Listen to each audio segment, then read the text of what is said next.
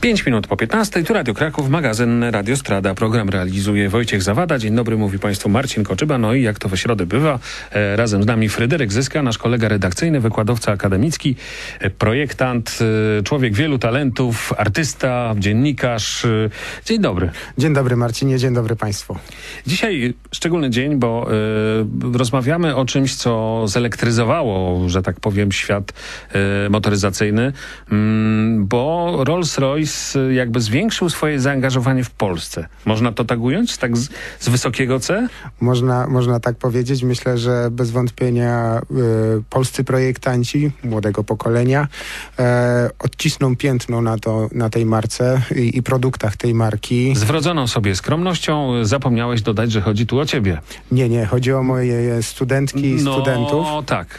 E, ja im będę towarzyszyć w tej przygodzie. Ufam, że Mhm. tak ją właśnie odbierają. I jest to wyjątkowa przygoda, ponieważ po raz pierwszy w historii marki tego typu współpraca i tego typu projekt został wyprowadzony na zewnątrz i środowisko akademickie zostało do niego, e, do tego projektu zaproszone. Będziemy projektować klucz do e, przyszłych produktów e, tego producenta, do, do, do przyszłych samochodów marki Rolls-Royce, jeżeli możemy powiedzieć, że czy określić je takim mianem, natomiast bez wątpienia e, wykraczamy w przyszłość. E, Wraz ze studentkami, studentami będziemy się zastanawiać, jak może wyglądać ten proces e, otwierania, zamykania e, samochodów. Bo słowo klucz to jest tylko pojęcie, to, to nie jest określenie przedmiotu. Tak, nie, celem naszych działań Mhm. nie jest stworzenie nowej wersji tego kluczyka do samochodów, który obecnie funkcjonuje,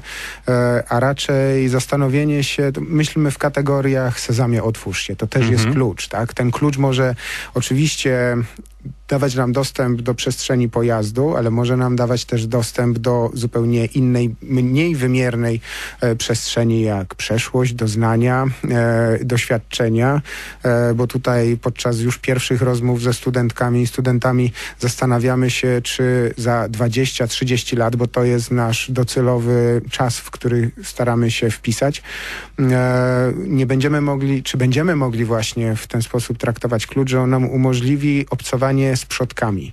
Czyli zakładamy, że ten produkt, pojazd marki Rolls-Royce e, jest tak długowieczny, bo tym się charakteryzują, że za 100 lat, za 150 lat nasze wnuki, prawnuki będą mieć ten klucz do samochodu, który my wyspe, wyspecyfikowaliśmy i w ten sposób kontakt z nami będą również Czyli tutaj mamy do czynienia z czymś, co można porównać z chmurą, tak? Informacyjną, zawierającą rozmaite, e, no właśnie. e, Można tak podejść do Informacje. tego y, tematu. Cieszę się, że już zaczynasz sam projektować i podejmujesz to wyzwanie, czym może stać się klucz do Mhm. w przyszłości do Rolls-Royce'a, tak? Bo y, to również jest kwestia tego, czym dla nas jest luksus, czym dla nas jest marka Rolls-Royce, o co zostali poproszeni e, studentki i studenci, zanim rozpoczął się ten y, proces stricte e, tworzenia, proces projektowy. Warto nadmienić, że pracujemy nad tą, czy w ramach tej współpracy nad projektem będziemy pracować w całym semestrze zimowym na Wydziale Form Przemysłowych na Akademii Sztuk Pięknych. E, Udział w tym projekcie bierze ponad 100 e, uczestników, e, co też jest wyjątkowe, bo zwykle w tego typu realizacjach, czy pokrewnych, bo jak wspomniałem, tego typu realizacja jeszcze nie była realizowana nigdy. E, bierze udział czasem pięciu bądź jeden, dwóch studentów, którzy realizują projekt pod patronatem Mhm. różnego rodzaju marek. Tak? My tutaj mamy duże, dużą grupę, e, która dla mnie jest wyzwaniem, bo z każdą z tych osób y, muszę porozmawiać, poprowadzić, przedyskutować inspiracje, drogi i decyzje projektowe. E, I również każdy ze studentek, każda ze studentów każda ze studentek, każdy ze studentów, Okej. przepraszam, będzie Nawet mieć nie zauważyłem emocji. będzie mieć możliwość konsultowania swoich idei z projektantami z Goodwood, bo Mhm. jest to bardzo ścisła e, To jest niesamowite wszystko. Właśnie to, Tak. że, że ta bliskość, to nie jest tak, że rzucili wam e, no, Tak. wielki Rolls Royce, powiedział weźcie, zróbcie i pojechali i się, Nie, nie. i się skończyło. Nie. To, to jest współpraca, która będzie miała bardzo takie wymierne i realistyczne, e, wy, wymiar realistyczny. Tak, choć ten finalny produkt nie musi być fizycznym obiektem, jak już Mhm. wspomnieliśmy, natomiast ta re relacja jest bardzo bliska. Trudno, żeby była bliższa. E, mamy wsparcie ze strony e, Felixa Kilbertusa, który jest szefem działu projektowego bryły zewnętrznej e, Rolls-Royce'a, jak również został do tego projektu przypisany e, Martin Simet, który jest jednym z projektantów Rolls-Royce'a i odpowiedzialnym za to, jak wygląda współczesny, e, ostatnio właśnie odbyła się przecież premiera Rolls-Royce'a Fantoma, to on brał udział w tym projekcie, on e, był członkiem zespołu projektowego, więc to jest również niebywała okazja, że mamy kontakt z tymi ludźmi. Ci ludzie zwykle są za pewnego rodzaju e, Mhm. ścianą bezpieczeństwa, tak? Oni mają stworzoną Mieszkają w przestrzeń chmurach do... i od czasu do czasu schodzą z Olimpu, tak, żeby z nami śmiertelnikami porozmawiać. Dla nas, to- projektantów- To, to, tak jest. To, to, dla, dla projektantów, dla dziennikarzy motoryzacyjnych, to ci ludzie, o których teraz mówisz i Goodwood, to jest w ogóle właśnie taki Olimp. Tak, to jest taka przestrzeń, która jest niedostępna normalnie. Może niekiedy ci patroni, osoby, które decydują się naj,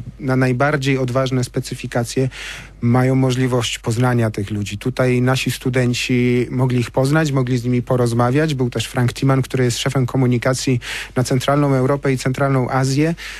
Przedstawił, czym jest marka, czym jest filozofia marki. Mhm. E, projektanci zaprezentowali, jak wygląda proces projektowy. Okazało się, że jest bardzo pokrewny do tego, którego uczymy na wydziale naszych studentów. Byli pod wrażeniem przygotowania studentów e, do tego pierwszego spotkania, bo zanim ono nastąpiło w ubiegły piątek, e, już wcześniej spotykaliśmy się i rozmawialiśmy o tym, czym jest dla każdej ze studentek i każdego ze studentów marka Rolls-Royce, czym są dla nich e, dobra luksusowe, a dlatego zadaliśmy im to pytanie, bo to oni za 20-30 lat będą decydować, jak będą wyglądać tego typu obiekty, tak? Więc e, ich zdanie, ich pojmowanie jest niezmiernie ważne w procesie powstawania tego projektu, ale również z punktu widzenia koncernu jest niezmiernie interesujące. My staliśmy się, można powiedzieć, takim zespołem badawczym, Mhm. zewnętrznym. E, Próba trochę takiego wpuszczenia świeżego powietrza, które zobaczymy, co z tego wyjdzie, tak? Nie ukrywajmy, że w ten Mhm. sposób przecież funkcjonują duże marki. Potrzebują tych młodych umysłów, które nie Świeżości. są ograniczone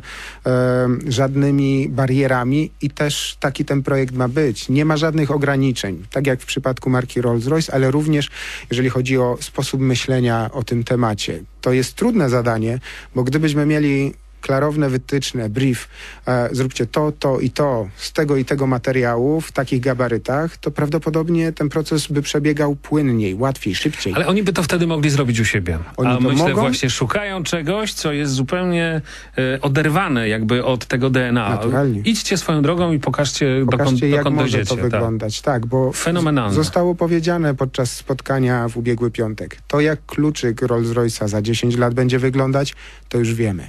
My chcemy wiedzieć, jak wy byście wyobrażali sobie go za 20-30 lat. Mhm. To jest coś, co mnie osobiście niezmiernie energetyzuje i ufam, że moje, moje studentki i studenci również i z tego, co już po pierwszych spotkaniach w tym tygodniu, e, pierwszych konsultacjach zobaczyłem, to umysły są wręcz rozpalone do, do białości. Ja się tu rozpalam, a co dopiero studenci.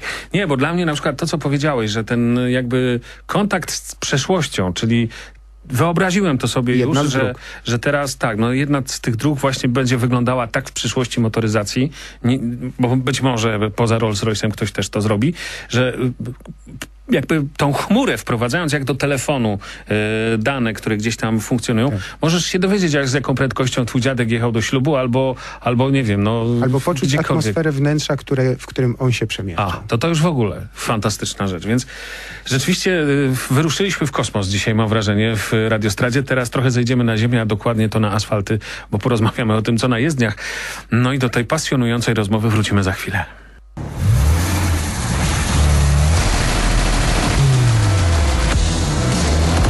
Radiostrada. Jak może wyglądać kluczyk przyszłości? Kluczyk jako idea, a nie jako przedmiot. Yy, bo tu trochę zaczęliśmy już iść w tym kierunku, prawda? Że kluczyk nie musi być yy, Fizycznym obiektem. fizycznym obiektem, który nosimy w kieszeni, możemy zgubić i musimy o nim myśleć. To jest coś, co... e, my się stajemy częścią samochodu. Ale my jesteśmy od zawsze częścią Tylko nie zawsze to czujemy i rozumiemy. Tego producenta. W szczególności. No bo, tak, bo y, znaczy ja to się czuję nawet u innych. Tak, Lubię swoje ogólnie. auta. Jak lubimy swoje auto, no to y, na przykład jak go sobie podrapiemy, przebijemy koło, to tak au. No dokładnie, to Gdzieś najedziemy przestęp, na- bo mnie od razu, na- wiesz, że dostaje dreszczy na taką Na próg spowalniający au. Tak. Jest jakieś takie, taka Ja mam nawet więź te- ten- emocjonalna. tą więź czuję z samochodami innych użytkowników. Kiedy widzę, że ktoś bardzo dynamicznie zrobi coś, co może mieć wpływ na jego samochód, to ja to odczuwam. Zrobi coś Żal głupiego, cofając, uderzy w latarnię. Boli, no bo po, jakoś jak się utożsamia, to po prostu jak się to lubi, to, to tak jakby ktoś patrzył na palone książki, tak? Że, No, że niestety. ktoś zniszczył książkę i... Podobne odczucia Yy, mamy, tak, No, faktycznie. no ja to już z książkami też tak mam, no, ale, ale tu w wypadku samochodów myślę, że to jest rzadsze, bo e, bardzo często ludzie traktują samochód jako jeździdło. Ale wróćmy do tego Rolls-Royce'a i do tego wszystkiego, co się dzieje, bo przypomnijmy, e, Akademia Sztuk Pięknych e, w Krakowie podpisała umowę o współpracy e, z Goodwood, czyli z producentem e, Rolls-Royce'a na zaprojektowanie czegoś, co ma być kluczykiem przyszłości. Tak, stworzyliśmy taką przestrzeń e, dyskusji dotyczącej e, projektowania, projektowania dóbr luksusowych i zastanowienia się również nad tym, czym to dobro luksusowe będzie w przyszłości. Czy nasi studenci, nasze studentki odpowiadają na to pytanie, czym będzie klucz do Rolls-Royce'a przyszłości. E, I to, tak jak wspomniałeś, może być obiekt, który jest nienamacalny. To może być idea, to może być jakieś zjawisko, to mogą być nasze odczucia, bo ten kontakt z samochodem na różnych płaszczyznach e, może się pojawić, o których dzisiaj jeszcze nie myślimy. Ten związek z pojazdem jest oczywiście częścią motoryzacji, od zawsze był, tak? To my kierujemy pojazdem. Kiedy za 20-30 lat, jeżeli tak będzie, samochody będą autonomiczne, to ten związek zupełnie na innej płaszczyźnie będzie istnieć. Tak? I teraz zastanawiamy się, jak będzie wyglądał ten związek, co, do czego może y, służyć klucz do pojazdu marki Rolls-Royce. Tak? Czy to będzie klucz do przestrzeni tej Mhm. fizycznej, czy to będzie klucz do przestrzeni metafizycznej, gdzie będziemy mogli spotkać się z poprzednikami, którzy przed nami używali tego, tego pojazdu, tak? Y, Czy to będzie możliwość obcowania tylko z tym luksusem w postaci materiałów, które dzisiaj są dla nas luksusowe, czyli złoto, diamenty, kamienie szlachetne, wyszukane drewna, czy może okazać się, i takie drogi myślenia również się pojawiają już podczas pierwszych rozmów, które odbywamy y, na konsultacjach ze studentkami i studentami, że możliwe, że to będzie plastik. Bo przecież plastik w tym momencie jest uważany za tak nieekologiczny, że go sto stopniowo wypieramy z naszego życia. Może się okazać, że za 30 lat e, to będzie właśnie tak rzadki materiał, tak rzadkie e, zjawisko, z którym będziemy mogli obcować, że dla kogoś może być to e, Atrakcyjne. wartościowy Mhm. e, element jego kluczyka, czy dostępu klucza do, do przestrzeni e, właśnie Rolls-Royce'a. To mogą być wspomnienia, to może być ten, ten komfort e, wypoczynku, może ten kluczyk w momencie, kiedy mamy go w dłoni, bo to też jest ważne, że ten obiekt, który bierzemy, my go nazywamy kluczykiem, tak, ale może zmieńmy sposób myślenia. To jest obiekt, który po raz pierwszy trzymamy w dłoni, zanim jeszcze mamy styczność z- fizyczną z pojazdem, tak, to on już powinien komunikować nam coś, tak? Mhm. Czy to, że będziemy znajdować się w, luksusowym, w luksusowej przestrzeni i będziemy się przemieszczać na latającym dywanie, e, czy może to jest e, komunikat, który ma nam już pomóc przygotować się na doznanie relaksu i spokoju, które również wiąże się z tą marką, czy może to będzie obiekt, z którym chcemy obcować w momencie, kiedy nawet nie jesteśmy we wnętrzu tego pojazdu, tak? Trzymamy go zawsze przy sobie, pieścimy tak, jak dla nas jest e, czymś godnym tej pieszczotej miłości sam obiekt skomponowany dla nas. No bo w przypadku produktów tej marki tworzymy fizyczny obiekt, który ma odzwierciedlać nas, czyli do tego zachęcają zresztą e, producenci podczas specyfikacji Rolls-Royce'a, żebyśmy siebie po prostu wyrazili poprzez, e, poprzez ten obiekt, którym się będziemy przemieszczać. I Mhm. Drogi podejścia do tego tematu, stworzenia klucza do, do tej przestrzeni samochodu, e, jest tak wiele, jak, jak wielu mam e, studentów, z którymi współpracuję. I dla mnie to jest e, niezmiernie przyjemny moment tej konceptualnej kreacji, tej burzy mózgów, zastanawiania się i dyskusji dotyczącej tego, jak będą wyglądać te obiekty w przyszłości, ale też poznania ich przez pryzmat tego projektu, bo każdy ma inne doświadczenia. Dla każdego i dla każdej co innego znaczy luksus, co innego znaczy pojmowanie marki Rolls-Royce, a to mogli zweryfikować również podczas tego piątkowego spotkania, gdzie został dostarczony przez e, e, producenta jeden z 14 na świecie Rolls-Royce Cullinan Frozen Lakes. I studenci mogli empirycznie pogłębić ten research, badania e, dotyczące marki. Mogli usiąść w tym, w tym pojeździe, poczuć zapach, fakturę, ergonomię pojazdu, chłód metali, które są, znajdują się we wnętrzu, ciepło e, drewna, zobaczyć Spirit of Ecstasy, który wyłania się e, z Parthenon Grill. No mogli i robili to i to zostało również odnotowane przez naszych gości z Goodwood, którzy byli zauroczeni tym, jak dogłębnie badają ten obiekt. Dla naszych studentów, dla naszych studentek ten pojazd to nie był tylko samochód. To jest zbiór informacji, których im jest potrzebny do, do, do pełnego procesu projektowego. Dlatego właśnie został dostarczony, żeby nie musieli bazować tylko na fotografiach, które gdzieś znajdą e, w internecie, tylko żeby uczestniczyli w tym procesie dokładnie w ten sam sposób, jaki, jaki doświadczają go projektanci ze studia projektowego właśnie producenta. No myślę, że studenci pewnie zachwyceni, bo kontakt e, po pierwsze z tym autem, ale po drugie to, co, a właściwie to może nawet tamto po pierwsze, e, że, że to, co się teraz z- rozpoczęło, to, co będzie kontynuowane, czyli te, te prace nad tym kluczykiem w cudzysłowie, mm, e, to, to, to, to jest coś niesłychanego. To niewielu w ogóle ludzi na świecie ma taką okazję, żeby, żeby wziąć w tym udział. To, a tutaj w, w Krakowie pierwszy raz w historii coś takiego się pojawiło. Tak, to jest ogromne, ogromna radość dla mnie. Ja bardzo długo wyczekiwałem tej możliwości i bez wątpienia e, Centrala Światowa z Goodwood e,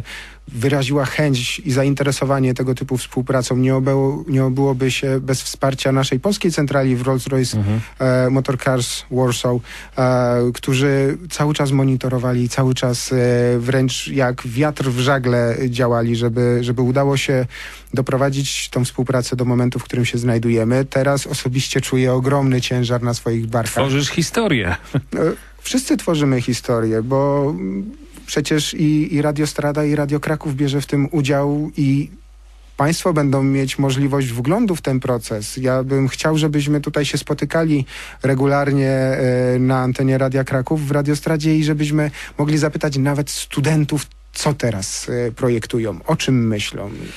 Umówmy się tak, że za niedługo spotkajmy się ze studentami. Chciałbym też usłyszeć właśnie ich emocje i ich e, wyobrażenie o tym, czym będą się zajmowali.